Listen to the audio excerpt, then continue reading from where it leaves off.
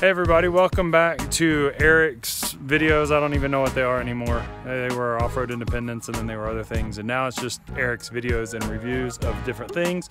So as some of you may know, recently I started um, tree service work again. A good friend of mine who's helping me today, Mike, got me back into it.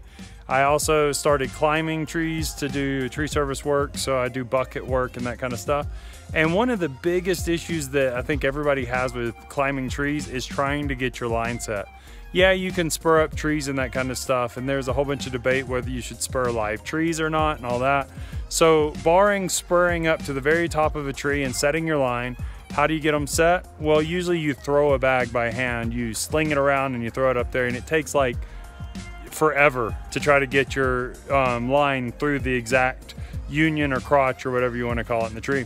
So um, online you can buy a number of different things. There's a slingshot called the Big Shot, which a lot of people say is really good. And then there's, uh, I don't remember what exactly it's called, but there's like an air cannon that you can buy as well. Um, the one from treestuff.com has a hand trigger on it and it's around 300 $200 i think it was $199 or something like that which isn't actually a bad price for what you get out of it but you can make them cheaper. Um, some guys online are making them for around 50 bucks. I just made one today. It's a little bit beefier than the ones i've seen handmade online and it cost me $90 so here it is. So you can see here that i use galvanized pipe with a cap and of course gas teflon in all the unions and a reducer down to a one inch uh, ball valve. And um, we put it so that the pull is backwards. So you pull back, but you have to release it all at one time in the air. So you can see Mike here holding it and you can see how he uses it. Unfortunately, the valve is on the left side. So if you're right-handed, it can be a bit cumbersome, but when you use your fingers like Mike just did under the barrel, it actually works pretty good. And then we just used a one and a half inch piece of PVC pipe, which the um, throw bag fits in perfectly. I'm using a 12 ounce throw bag. Some people are using eight or nine ounces um, with, what was it, 130 PSI. This thing shot well over 80 feet in the air. Yeah. Um, no doubt about it. And we've got this really little coupler here for the PVC pipe and then the reducer, and then it goes into the nipple here with a um, piece of Teflon tape, and then the valve, and then another nipple, and then a reducer from um, one and a half to one, and then this goes up to two inches, and this chamber here is two inches. We have a galvanized cap, and on the back, we have a Schrader tire valve like you would use in um, auto racing. It's uh, got a nut on the outside so that they can't slip out. So we're gonna air this thing up. Um, we just use a compressor and a piece of air, uh, air hose. You can see he's airing it up now. The chamber isn't that big, so it doesn't take that long to air it up. And then we just use a tire valve, which I've got in my pocket. Hold on. So there's Mike doing that.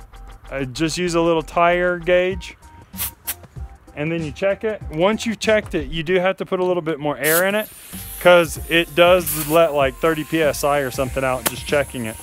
And then you've got it ready. And now you've got your valve closed, of course. We don't have any leaks in it. So let's go shoot it. All right, so I have my throw cube here. Have my throw line flicked into it. We've got a 12 ounce bag that's going down the barrel. There's Mike putting it in. The barrel there and it just slides i mean perfectly down in there. I i can't one and a half inch barrel is the perfect size. So it's a one and a half inch barrel once again to a one inch ball valve. And we're going to shoot it up into this cottonwood. Let me see if i can get to where mike is shooting and see if i can't get a little bit of what's going on. you want to make sure the bag goes all the way in down to the bottom. Otherwise you have air in there, you'll lose some of the pressure because it's filling the void behind the ball. Yeah, you definitely want to make sure it's set all the way down. So let's see if we can't show him getting this crotch. Here we go.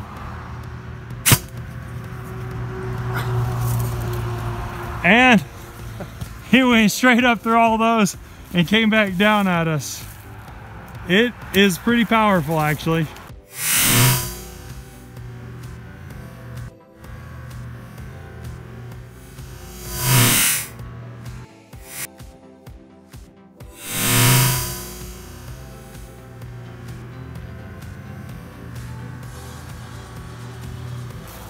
So definitely, definitely a better option. it's this thing is pretty pretty cool. I, I gotta say this this air cannon is just and like I said, mine was around 90 bucks to make, but you can make them for cheaper. And um, if you want to use all PVC, the reason I chose to use the galvanized steel on the end, which made it more expensive, was because this part here is the air chamber and that's the part that builds the pressure in it. We can, we've already put around 150 PSI of air in it and it's held fine. With the PVC, I was afraid that if I dropped it by accident while it was charged with air, it would explode and then PVC would become shrapnel everywhere. I chose so, to go with the galvanized even though it was around 40 bucks more expensive just to try to make sure that I had a bit more safety involved in it. So, um, but that's it. That's all it is. It's one and a half inch PVC for the, the barrel, an adapter to a reducer nipple of um, one and a half to one, and then it's a all thread nipple that goes into the brass air ball fitting, and then it's another brass uh, uh, threaded nipple out of the brass ball fitting into a reducer from one and a half to one. And then there's a coupling from one and a half to two. And then my chamber is two inches with a cap and a racing tire or racing wheel Schrader valve or tire valve on the back to hold it all in. If you need any more information about it, let me know and I'll, I'll spell it out for you in written text. So hope that that helps you guys. Hope that you find this interesting and I will see you in the next video. Bye.